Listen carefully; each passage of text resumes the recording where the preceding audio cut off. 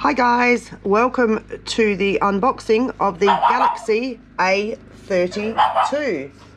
This has a 6.4 inch display with a resolution of 1080 by 2400. Let's get into it. We need to undo these seals. And while you're here, check out my fingernails. They're completely useless, but they look great. They're for Halloween, obviously. All right, we've got that one. And that one. Push that out. So this is a violet one. How pretty is that? They were out of black, but that didn't particularly concern me because I was happy to have the violet one. Let's have a look. All right, so the usual uh, looks like charging cord, which I hear they're not selling with phones much longer. There's so many of them in the world and because of waste you have to buy them individually if you want one from now on. It's got the charger Samsung little pin thing and here it is.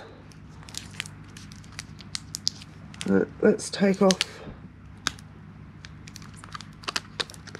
How do we take this off?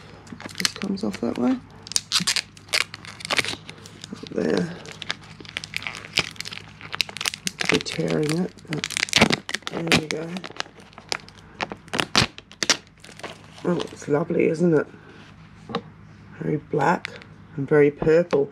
And these cameras here, let me see what I can tell you about them. A quad rear camera with 64 megapixels on the main lens 8 megapixels ultra wide lens and 5 on the macro lens and 5 on the depth sensor as well as a 20 front camera. That's pretty cool isn't it? One two three four five. And the front one.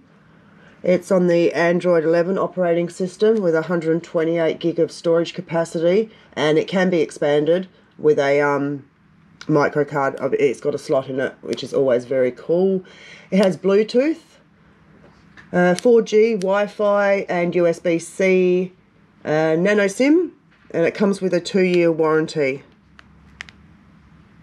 So I'm going to get a cover on this quickly before I get tempted to do a Jerry Riggs and scratch it. there it is guys.